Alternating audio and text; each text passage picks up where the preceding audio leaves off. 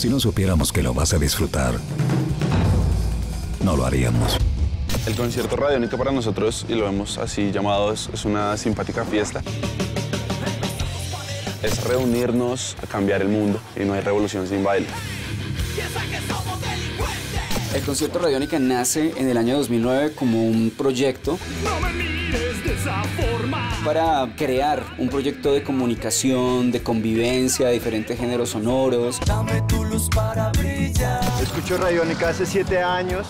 Me gusta porque le dan la oportunidad a las nuevas bandas nacionales. Eh, podemos escuchar nuevos sonidos.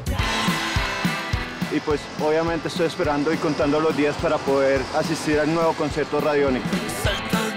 Concierto Radiónica 2013 en la ciudad de Medellín con la agrupación de Clocks. Club Peligrosos.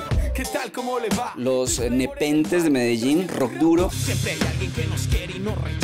Y por supuesto, los Superlitio de Cali, con una propuesta también de avanzada. Para Bogotá tendremos a Árbol de Ojos, los Petit Felas. Tendremos a los Ciegos Sordomudos, una agrupación importante en la historia del rock colombiano. De Bruces a mí.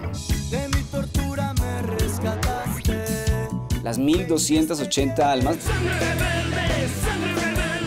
Tendremos a Brand Brauer Freak desde Alemania, una agrupación muy importante de la electrónica internacional. Y finalizamos con Messier Periné, esta agrupación colombiana que definitivamente ha demostrado que un mercado independiente puede generar opciones muy importantes de emprendimiento y obviamente acompañada de muy buena calidad sonora.